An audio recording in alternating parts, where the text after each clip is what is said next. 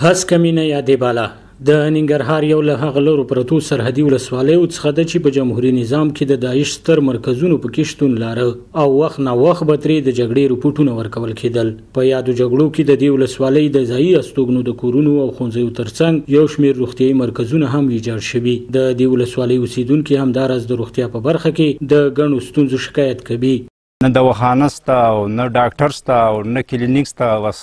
ختمه خبره دا ده چې بس دا چې په یوه ځای کې نه وي نو څه هغه به وشي صحت په برخه کې کلینیکونه دي دا داسې خاص موږ نه لرو او دومره اړتیا ورته لرو چې د حد نه زیات کله کله یو مریض وي نو موږ نشو کولی چې پوخ باندې روغتون ته ورسېږي موږ مجبور مکلف یو چې مریض د دې ځای نه وباسو هغه د پیوې هسپتال ته یې رسو او مرکزی کلینیک ته چې لاړ شي هغوی هم دومره امکانات نه لري بیا یا د پیوې هسپتال له یا سیتامې له ځو د هسکې مینې ولسوالۍ اوسېدونکي د تخریب شوو روغتیايي مرکزونو د ودانیو د جوړېدو ترڅنګ په یادو مرکزونو کې د مسلکي ډاکټرانو د ګمارل کېدو غوښتنه هم کوي. په بازار کې موږ یو ډاکټر لرو، عام ډاکټر نه دی، مسلکي ډاکټر نه دی، ګولۍ خرڅوي، خو خلک مجبور دي چې دغه نه دوا واخلي. او خپل مشکل ور باندې رفع کړه نو د صحت پر رابطه باندې موږ ډیر زیات مشکل لرو دلته هیڅ هم همکاري نه کړې که مخکې وو که اوس خو مخکې هم دومره و چې کلینیک وو د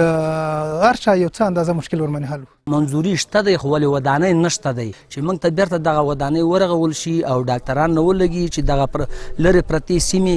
دغه تګ راتګ مرکز ته کم شي مشکل ډیر زیات د عامې روغتیا مسؤلین په یاده ولسوالۍ کې د بسندویه پرسونل او درملو د نشتوالي خبره نه مني او زیاتوي چې د تخریب شوو کلینیکونو د جوړېدو په اړه یې د یو شمېر مرستندویانو سره خبرې کړي ترڅو یې ورغوي. په صحت کې ان شاءالله دغه ستونزې تر ډېره حده حل شوې دي، دواګانې په وخت په وخت خپل هغه کلینیکو ته رسېږي، ډاکټر صاحبان شته، نرسان شته، یعنې ټول صحي پرسونل شته، او په صحت کې کومه ستونزه نشته انشاالله شاید داسې ډېر معمولي ستونزې وي انشاالله هغه هم حل کوو هغه قابل تشویش ستونزه نه دي انشاالله او بل د ساختمانو برخه کې واقعیتا چې په دغه ساحه کې ډېر زیات جنګونه شوي دي او د جنګونو د وجې نه ساختمانونه اکثره وران شوي دي خو موږ په دې کوشش کې یو ډېرو ډونرانو سره وعدې کړي چې انشاالله دغه ساختمانونه چې په جنګ کې وران شوي دا موږ بېرته جوړوو. په ننګرهار کې یوازې دا ولسوالۍ نه ده چې ځایي استوګنې د روغتیا په برخه کې د لازمو اسانتیاو د نه شتون شکایت کوي، بلکې د دې ولایت د پچیراګام، سپین غر او یو شمېر نورو لرو پرتو ولسوالیو اوسېدونکي هم د ورته ستونزو یاده کوي. سباوون ساحل، وحدت نیوز، هسکه مېنه.